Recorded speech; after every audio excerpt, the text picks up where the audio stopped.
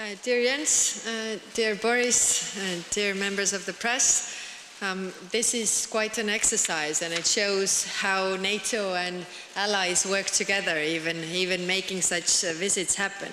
And it's my great pleasure to welcome you both in Estonia.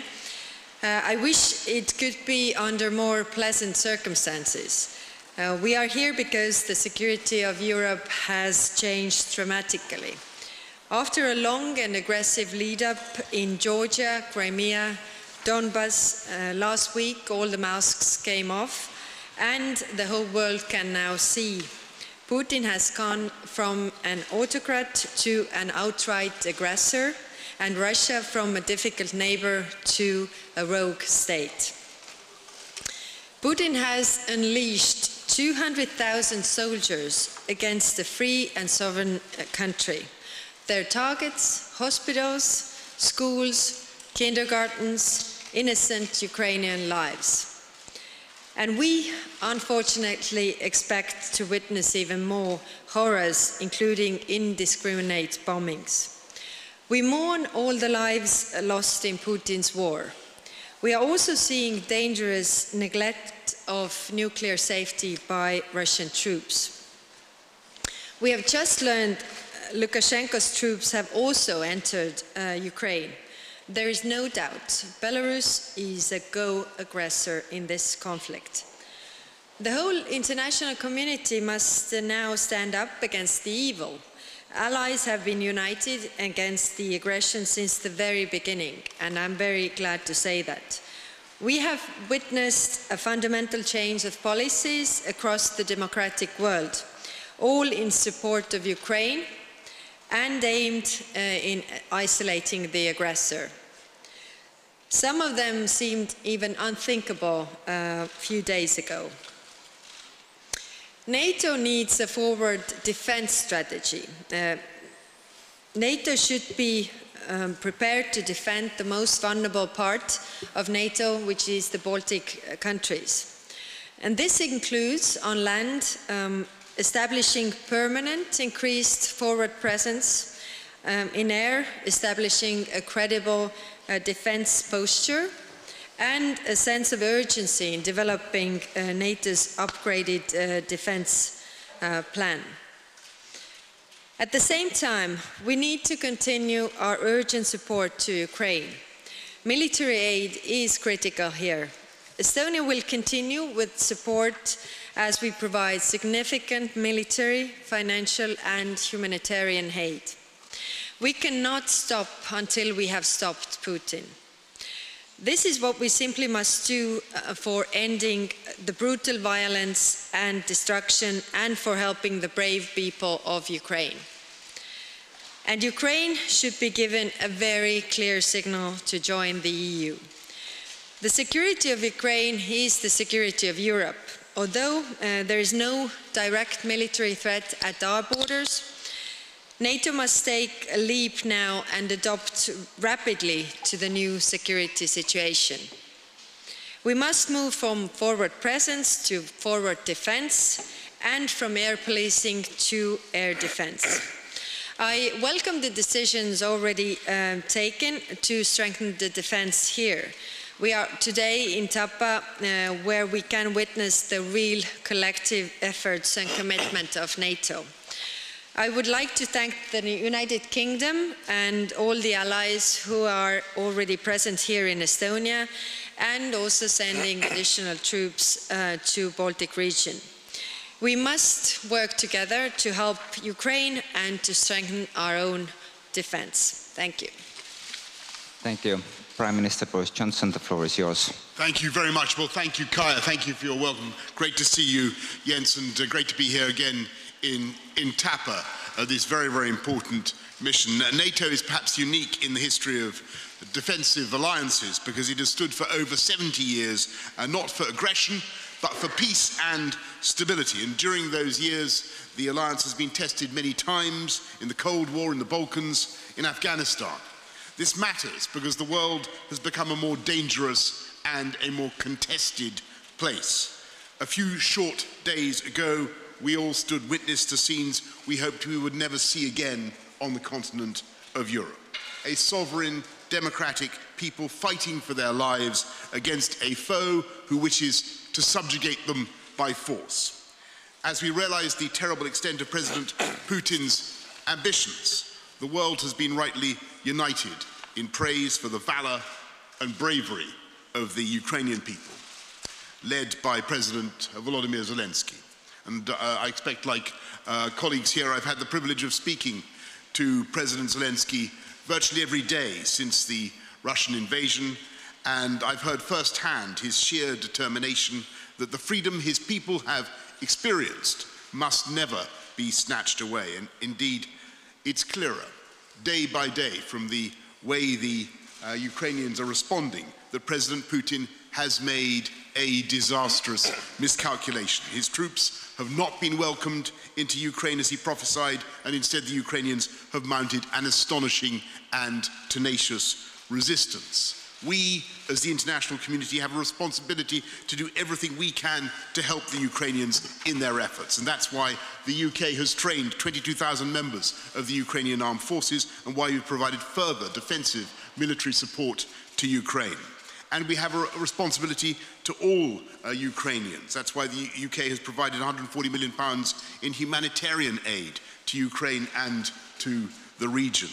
It's why we've deployed both humanitarian experts and hundreds of military logistics experts to Ukraine's neighbors to help them shelter those seeking sanctuary on their shores. And it's why we've announced the first phase of a bespoke humanitarian route for the people of Ukraine to come to the UK. It's also why, alongside allies across the world, the UK has swiftly executed the biggest package of sanctions ever imposed against a G20 nation. And we've seen organizations from banks to oil companies to football leagues uh, to singing competitions who've made it clear that Vladimir Putin must be, and his regime must be isolated from the international community uh, for his actions. As we support the people of Ukraine, we must also shore up our shared resilience both to protect our people and our values. These are nothing more than defensive measures, which have been the essence of NATO for more than 70 years. And I want to be crystal clear, finally, on that point. Uh, we will not fight Russian forces in Ukraine, and our reinforcements, like these reinforcements here in Tapa, are firmly within the borders of NATO members, and they are profoundly the right thing to do. Thank you all very much. Thank you. Secretary General Stoltenberg, please. Prime Minister Kallas, uh, Prime Minister Johnson, dear uh, Kaja and dear Boris, it's great to be with you here at uh, Tapa. It's great to be uh, back and uh, we are here to meet the soldiers uh, that are defending Estonia, our alliance and our values. These soldiers are keeping our nation safe and free and we owe them a debt of gratitude. Thank you to Estonia for hosting our battle group so well and uh, being such a staunch uh, NATO ally. And let me also thank the United Kingdom and you, Boris, uh, for leading this uh, NATO multinational battle group here at the Tapa base in Estonia and for doing so for the last uh, five years. And also for doubling your contribution over the last uh, few weeks with more British uh, troops uh, coming to Estonia. This really makes a huge difference and demonstrates NATO solidarity. We stand together uh, in this time of crisis. The people of Ukraine are fighting bravely against the brutal and unprovoked Russian invasion. We utterly condemn the Kremlin's war. Allies are imposing severe costs on Russia through sanctions. We are increasing NATO presence across the alliance to deter and to defend. And we are stepping up our support to help Ukraine defend itself. NATO allies are sending uh, Ukraine anti-tank weapons, air defense missiles and ammunition. Allies are also providing millions of euros worth of um, financial help and humanitarian aid. I commend Estonia and the United Kingdom for the resistance uh, uh, you are uh, providing to uh, Ukraine. Over the last weeks, in response to Russia's attack on Ukraine, we have increased our defensive presence in the air, on land and at sea, with over 100 jets at high alert operating from 30 different locations, and over 120 ships from the Baltic Sea to the Mediterranean. The UK, the US and other allies are deploying thousands more troops to the eastern part of the alliance. For the first time in our history, we are deploying the NATO response force. Because there must be no doubt, no room for miscalculation or misunderstanding. Our commitment to Article 5 of the Washington Treaty is ironclad. We will protect and defend every inch of NATO territory. Credible deterrence prevents conflict and preserves peace. NATO is a defensive alliance. We do not seek conflict with Russia. Our message to President Putin is stop the war, pull out all your forces from Ukraine, and engage in good faith in diplomatic efforts. The world stands with Ukraine in calling for peace. So, uh, Kaja and Boris, it's great to be with you here again, and we stand together in the alliance, united in our condemnation of the Russian invasion of Ukraine. Thank you. We are now at your disposal for questions. Please state your name and media organization you are representing and to whom the question is addressed to. Please use microphone, my colleague will assist. Hello, I am Katrin Arma from Estonian television. I have a question to Prime Minister Boris Johnson. Um, your country has supported uh, volunteers who are ready to fight on the ground in uh, Ukraine. What do you think, under which circumstances should NATO get directly involved in fighting in Ukraine? Well, thank you very much. And uh, look, I'm going to be very clear about this because uh, uh, you're, you're, not quite right in what you say about supporting uh, volunteers going to fight on the ground. The UK is not uh, actively doing such a thing. Uh, but I, I, understand, of course, the feelings of people who feel emotionally engaged in this conflict because I cannot think of a time in international affairs when the difference between right and wrong, between good and bad, uh, uh, between good and evil has been so obvious. And it is clear that the, the people of Ukraine have right on their side. And I can understand why people feel as they do.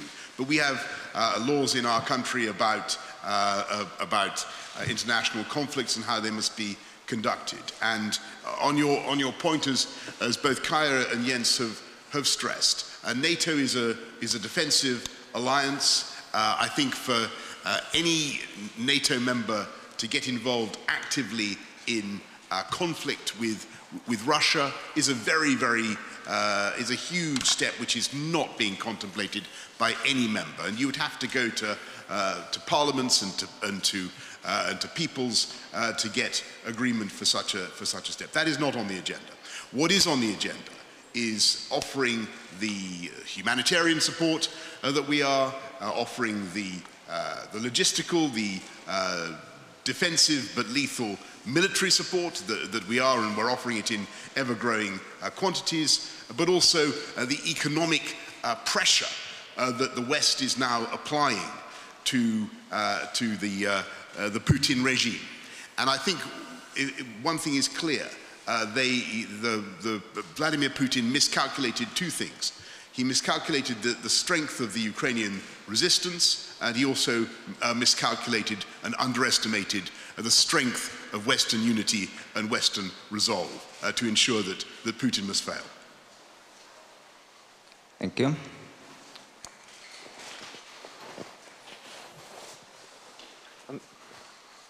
Uh, thank you. Rageh Omar on behalf of uh, all British uh, broadcasters. There's a question to all three of you, actually. Um, Kharkiv city is under heavy bombardment. Um, the capital, Kiev, is being surrounded and has a column of heavy armor stretching somewhere between 25 and 30 miles towards it. Uh, do you think that given uh, the tactics being deployed by Russian forces uh, um, edging towards indiscriminate use of munitions in civilian areas, means that given Russia's overwhelming uh, superiority, that cities in Ukraine, including the capital, will inevitably fall. And then one specific one for you, Prime Minister Johnson. Um, the UN Security Council is at the heart of the system of global peace and security. Britain, like Russia, is a permanent member. Do you think that you would support moves to suspend Russia from the UN Security Council?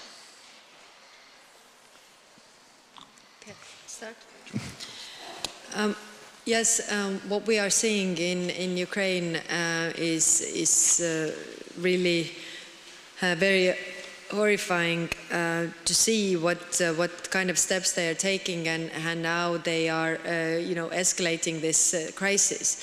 Um, the question whether the cities will will fall, I think uh, uh, we underestimate the Ukrainians' motivation and will to protect their protect their cities. Of course, we also know that the, the forces are not really equal.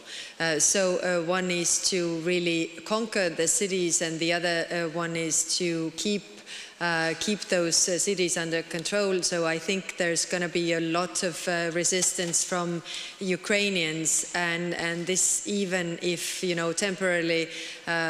Russia takes hold of the cities, it's still very hard to keep and, and as there is no support from the Ukrainian, Ukrainian side. So I think uh, what we have seen and all Ukrainians have really uh, surprised everybody is, is by their motivation to fight for their country, to fight for their freedom.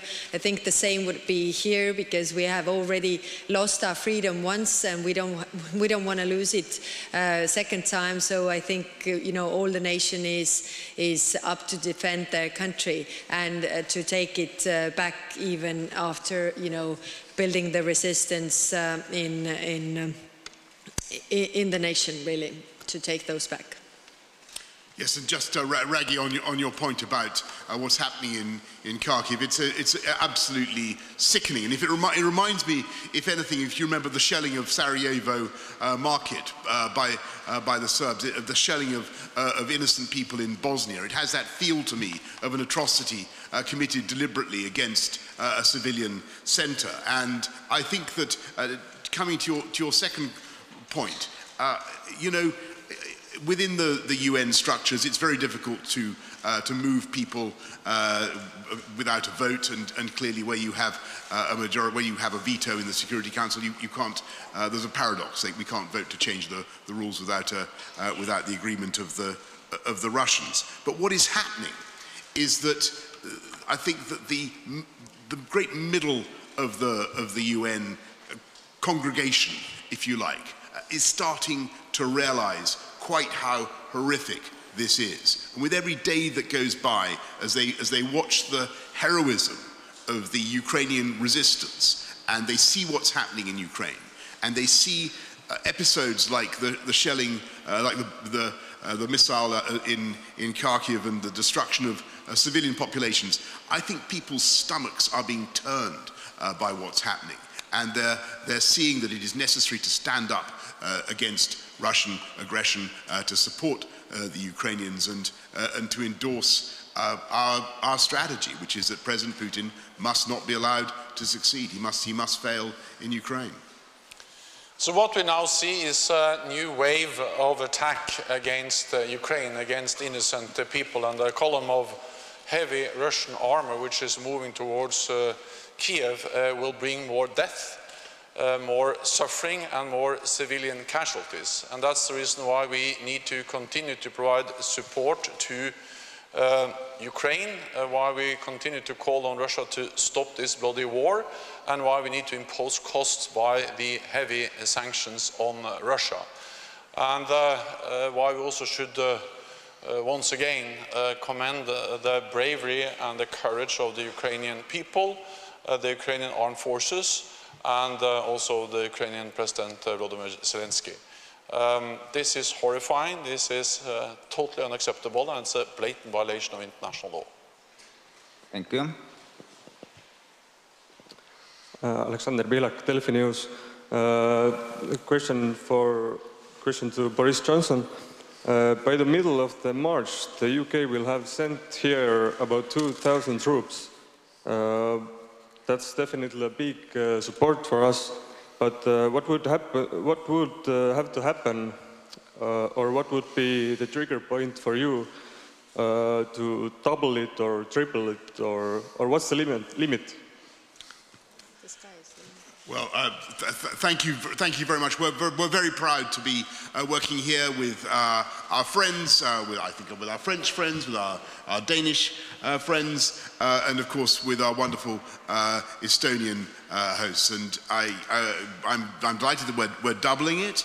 It's a big commitment that we're that we're making. I think that you know we'll we'll always keep things under review.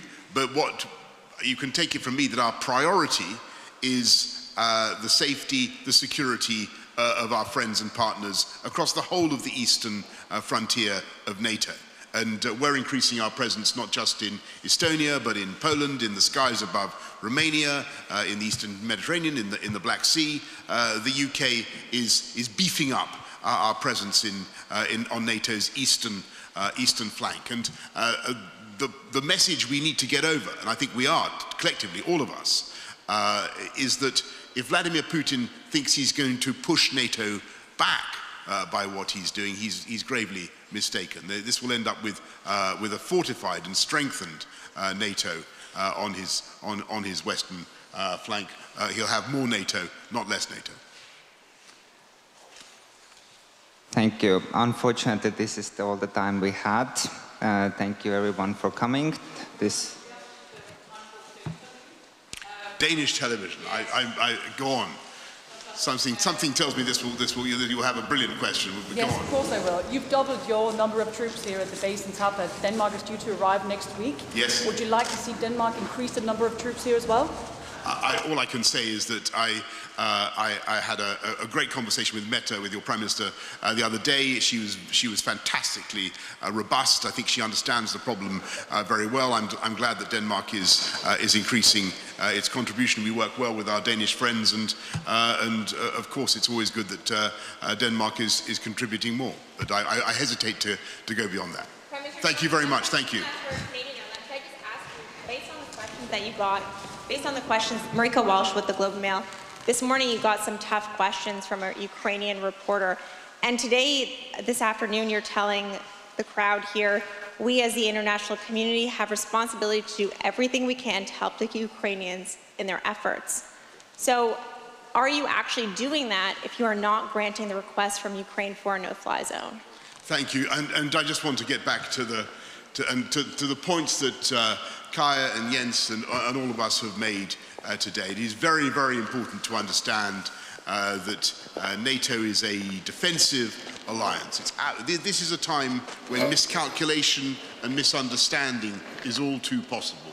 And it's therefore crucial that we get that, uh, we get that message over. Uh, that does not mean uh, that we cannot help our friends, or it does not mean that they do not have a right to self-defense, and we can help them in that self-defense. And that is what we are doing. But when it comes to a no-fly zone, uh, which is I think what you asked, in the skies above uh, Ukraine, we have to accept the reality that that involves uh, shooting down uh, Russian planes, as I said in an answer to, I think, the first question. Uh, th that's a very, very big step. It is simply not on uh, the agenda of any NATO country. Thank you all very much. Thank you. Thank you, everyone. This concludes the press conference. Thank you for following.